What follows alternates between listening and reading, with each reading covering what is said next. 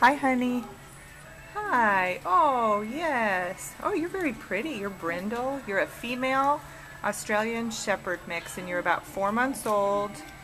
I'm worried about you because your tag, your paperwork up here says that you were brought in on the 15th, and your release date is the 15th, so your days are numbered, babes. We have to get you adopted. Look at that pretty baby. Come here, sweetheart. Oh, hello. She's just tired of being here. She just wants to get out.